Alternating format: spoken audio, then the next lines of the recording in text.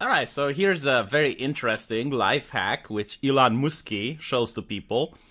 Tap the home button, tap stars on the upper right of the screen, select latest news.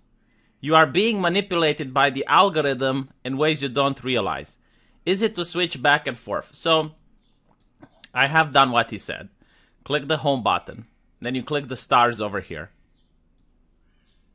And then you click see latest tweets. And all of a sudden, I get to see the things that I'm subscribed to. I get to see what I want to see and not what the algorithm forces me to see. I gotta say, like, after doing this, Twitter has actually become a worthwhile experience. I mean, look, the reason I subscribe to certain people is because I know this is shocking, but I want to see what those certain people have to post the algorithm up till now was showing me what the algorithm thought I wanted to see. But like, look, I'm telling you what I want to see. I, I'm not being cryptic. I'm not trying to be esoteric. I'm telling you that the people that I click subscribe on are the people that I want to engage with. Now, if only they would be able to fix the trending tab as well, because the trending tab is bullshit.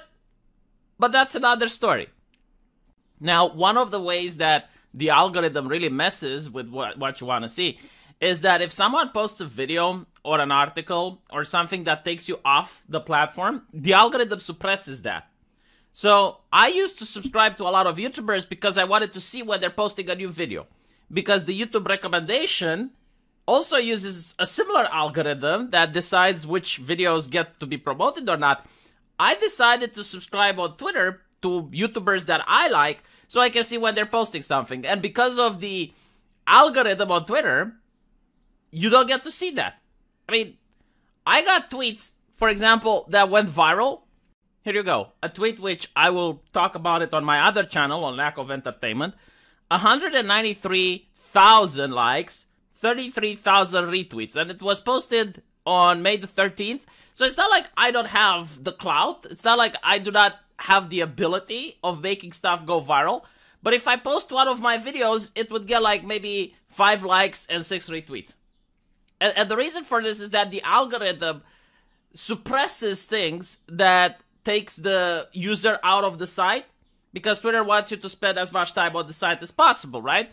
So that's how the algorithm, like one of the many ways that the algorithm manipulates people. And I want to see when a content creator uploads a video. That's why I use the platform. And that's just one of the many ways. But as you can imagine, Elon Musk has to come out and says, I'm not suggesting malice in the algorithm, but uh, rather that is trying to guess what you might want to read, and in doing so, inadvertently manipulates or amplifies your viewpoints without realizing that this is happening.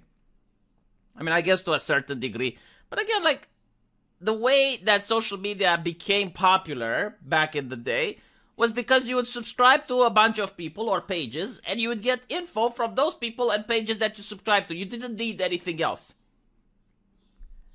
And obviously, people are really upset about this. As you can see here, uh, thanks Captain Obvious. I have been using Twitter for more than six years. I didn't know about this. Like, I didn't know you can switch back and just completely remove the algorithm from the equation. And I'm telling you, a lot of people didn't know. I am willing to bet that this is a left wing person. Ah, there we go. Uh, blocked by Trump. Yeah, okay. You know, how, how did I figure it out? It's almost like a benchmark test at this point. Like anyone that doesn't like Elon Musk is left wing. I, I I don't know why. On Twitter, I mean. And I like. I'm pretty sure there are reasons not to like Elon Musk, but like people who pathologically just tweet at him and are like angry, left wingers, almost entire.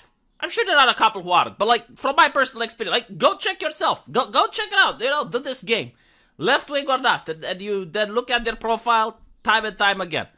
Look at this guy, right? Very important to fix your Twitter feed. Click on Elon Musk. Tap the three dots to the right. Select block. You are being manipulated by the algorithm. Blah blah blah. Oh, now it's not uh, Twitter is a private company, is it? You, you're not using that argument. But it's kind of interesting that they're defending the algorithm that existed before. So, like, they want to be controlled on the information that they get to see. Like, I, I just don't understand how a human being that's a grown ass adult can be like that. It's like I'm not capable of deciding what information I should be exposed to. So I want a big corporation to decide it for me. I, I want the person that I've never met in my life.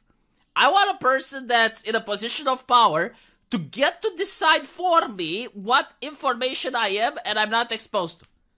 Who does that? No, seriously, like what what type of I, I want to meet that person and have a conversation with them. I want to see how they tick. I want to see how they express themselves because it's just so bizarre. It's like, what did I need in my life? A, a person that doesn't want my well being, doesn't even know who I am, to decide what information I'm being exposed to or not. I, I mean, seriously, th- this is how bad it sounds when you articulate it, when it comes out of your mouth, because that's literally what they want. And, and they're very upset. Like, I could just make an entire one hour video going down, and you can see what people are saying and how outraged they are that Elon Musk told them how to disable the algorithm. The only explanation is that they are paying Twitter so that the algorithm promotes them. Like, that is a possibility, I guess. Cause, cause I don't understand why they're so upset. Like, who hurt them? Literally, you know, the way they would ask you back in the day, who hurt you? Who hurt them? Who hurt them that they're so upset at Elon Musk for disclosing this? Which, by the way, again, maybe some of you knew about. I didn't know about it.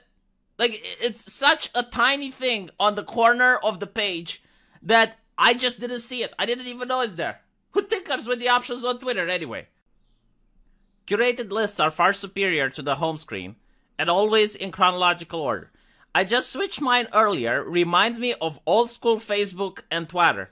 I didn't even know I had that option before. Yeah. Almost no one knew they have that option before. Anyone that tells you it's like, oh yeah, I always knew. I don't believe them.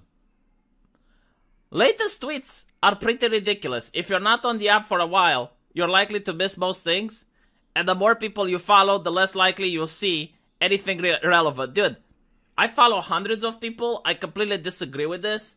Not to mention, like, I don't need to see everything all the time. But again, I'm, I'm not against it. You know, like if you if you want to disable it, that's fine. If you want to leave it enabled, that's also fine. But what I find it interesting is the people that are freaking out because Elon Musk is pointing out that the option to disable it even exists. But anyway, don't forget to check my lack of entertainment channel, because otherwise you're missing half my content. I make five videos a day, two of them on this channel, two of them on the other one, and I also make a live stream. And uh, I usually forget to promote myself, which is why I'm doing this now. so I apologize, but I got no other choice. Like, no one else is promoting me. Uh, I'll see you guys at This Week is Stupid. It's going to be great. And uh, hopefully, I'll see you at my live stream after that. Take care, and let me know what you think in the comment section.